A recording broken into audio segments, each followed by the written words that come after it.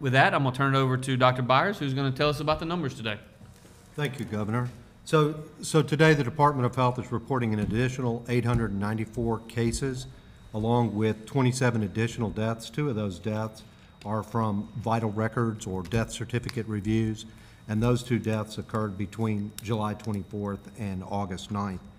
When you look at our other indicators, uh, besides cases, if you look at the numbers of cases that are reported in hospitals now, uh, we are seeing some downward trends in those numbers of confirmed cases. We've also seen some downward trends in the number of individuals who are in the ICU due to COVID. However, we have today seen a little bit of an upward trend in uh, our individuals who are on ventilators. Um, We hope that that trend doesn't continue, but it's certainly something that we need to watch uh, closely. We still have a lot of outbreaks in long-term care settings, but I think that we're, we're looking at a point now where we may start to see some movement in those, and hopefully we'll start to see some, some decreases in the number of uh, long-term care outbreaks uh, over the next uh, coming couple of weeks. Certainly, that's something that we're going to continue to watch and, uh, and help those long-term care settings uh, with support and guidance as best we can. Schools, when we, you know, we are working very closely with K through 12s. Um, We have set up a system throughout the state where we have teams that are available from a local setting to be able to um, support the schools, to provide them guidance, to be able to answer questions. And we've started this now for about a couple of weeks, and really, we've seen, we've, we've received almost 150 calls from schools so far. The vast majority of those calls are asking uh, about specific situations. We have a case, what do we need to do around it? Or um, just in general, the guidance. And we've been there to help them uh, walk through that guidance. And I have to tell you that I have been particularly encouraged by the schools that we've talked to, the principals, the superintendents, that they are adhering to the Department of Health's K through 12 guidance. And I think that, um, that that's a good thing and that we're making progress with that. One of the sort of unencouraging things is the fact that many of the cases that we're seeing in the school settings are not necessarily transmission within the school, but are in parties outside of the school setting, are in sleepovers outside of the school setting.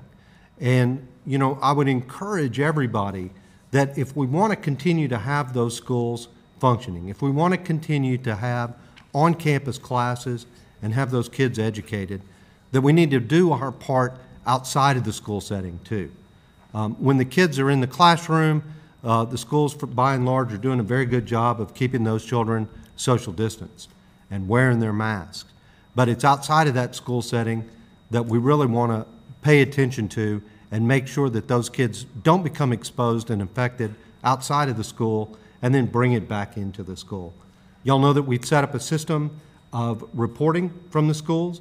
We are receiving aggregate reports from all of the schools.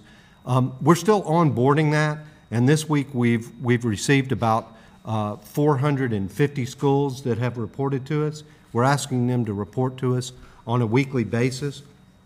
If we just look at a quick snapshot of the data for what we've had reported from uh, schools so far this week, we've, uh, the schools have identified almost 2,000 kids that they've had to quarantine as a result of exposures in the school setting, and about 200 uh, individual cases that have been reported through this system.